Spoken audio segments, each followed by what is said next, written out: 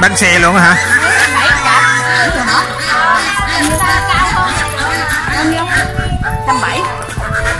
Ủa, cái này vịt này ở đâu vậy em? Hả? Vịt này ở đây hay là ở đâu vậy?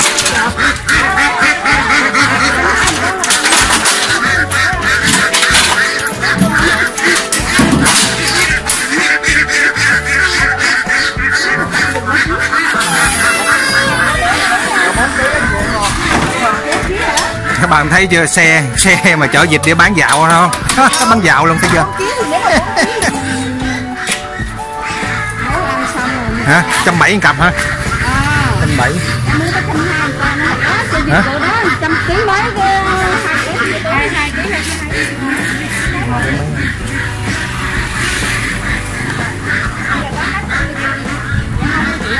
một cái này ờ, cái mới kia mua thêm cặp cái đó là tại ai cái chỗ tới thôi à ở đây dặn ha. Nhưng mà vịt này là là ở đâu?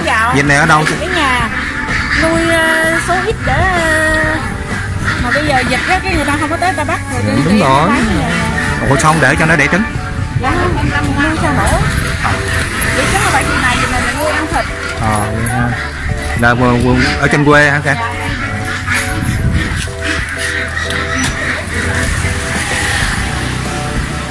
Làm tài xế luôn hả? Giỏi vậy. Bye bye nha. Bán cho hết nha.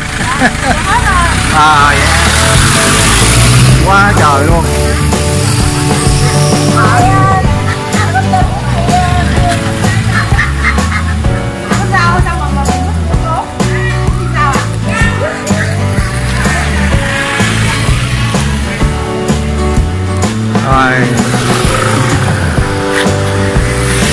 đường đặng nhân ngữ này là các nhà nghỉ đóng cửa hết.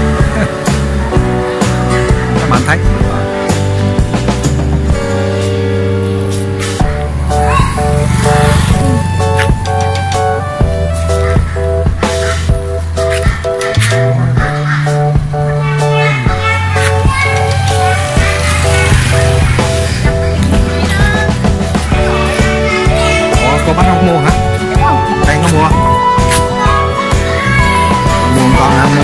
kề mấy đứa lên mới vui hôm được mấy phòng còn hôm mấy đứa nó về đó.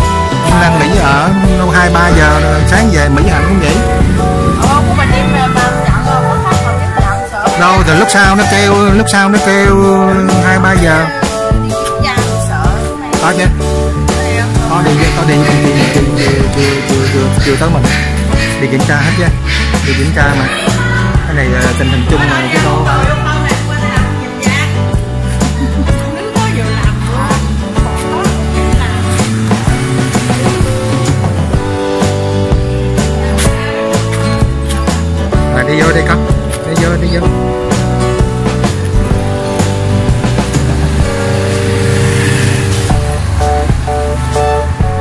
thấy là như nhà nghỉ đóng cửa. À, Dịch cộ gì coi như là đi bán dạo luôn.